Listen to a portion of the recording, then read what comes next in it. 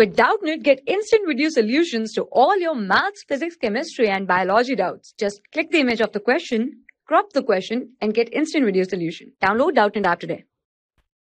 So in this particular question, we are given that how many three-digit numbers can be formed by using the digits 0, 1, 2 and 3 where the repetition is allowed. Okay, the repetition of digits are allowed and we need to find out how many three-digit number can be formed using the digits 0, 1, 2, 3.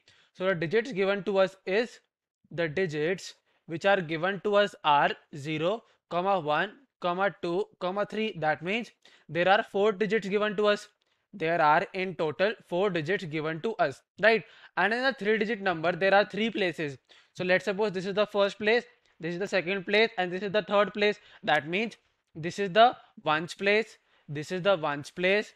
This is the tens place. Tens place. And this is the hundredth place right? This is the hundred place right? So these are the three digits of a three digit number. So first of all if we start from the ones place if we start from the ones place this ones place can accommodate how many digits? So this ones place can accommodate either a 0 a 1 a 2 or a 3 right? From all the three all the four digits it can accommodate all the four digits. That is 0 1 2 3 so the ways in which the ones place can be filled is 4 right? Because it can accommodate four digits.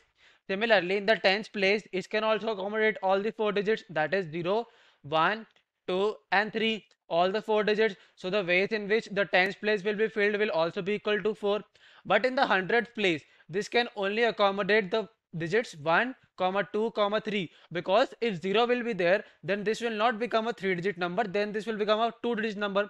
Because if 0 will be over here then this place will not be counted then it will become only a 2 digit number. So in this particular place only 1 2 and 3 can be filled. So their ways can be this will be three three ways can be there to fill up the hundredth place.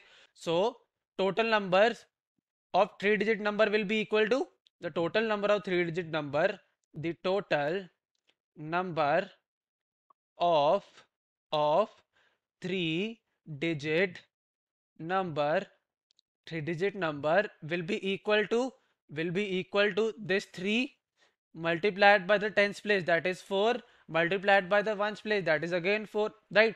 So this will be equal to 3 into 16 that is 4 into 4 is 16 so 3 into 16 will be equal to 48 so 48 such three digit number can be formed in which the digits will be either a 0 1 2 or 3 so this is the answer of the question that 48 such numbers can be formed For class 6 to 12, IIT JEE and NEET level. Trusted by more than 5 crore students. Download Doubtnut app today.